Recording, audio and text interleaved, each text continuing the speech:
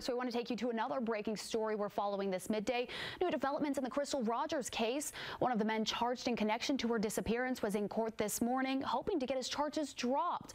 Wave News reporter Sean Baute is live in Nelson County. He just spoke with the defense attorney of Steve Lawson. And Sean, what did they have to say? Well, I mean, really, the issue here, Olivia, is immunity. Steve Lawson wants it. The Commonwealth has offered it, but there's one pretty big stipulation in that deal, or at least that's the way the Commonwealth views it, and it's that he needs to be 100% truthful. Uh, Commonwealth says that's not been the case. Uh, and Lawson's attorney, Ted Lavit, says his client has, quote, done his best to be truthful. And in court today, Lavit argued for his motion for immunity. Special prosecutor Shane Young says the Commonwealth isn't going to do that until Lawson separates his truth from his lies. Uh, Special Prosecutor Shane Young, again, that is. Young used four different examples, uh, one of them being a phone call made to Houck, allegedly telling him the job had been done.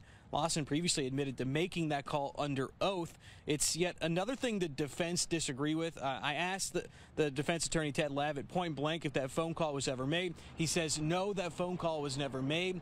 Uh, he believes the phone call in question was just a phone call about an apartment from Brooks Houck that his niece could rent uh, sometime in the future. Ted Lavit says his client is also responsible for getting prosecution the information to bring charges on Brooks Houck, who is charged with Crystal Rogers murder. And that's a pretty big deal, he says, and the Commonwealth needs to honor their agreement, whether or not it's something that he was 100% truthful about or not. And if he's not given immunity, then he says it's natural to say that anything that they've gotten from his attorney shouldn't be used in a trial against Brooks Houck, which could obviously be damaging to the prosecution's case there as well. The judge heard all this. The judge had a lot of questions.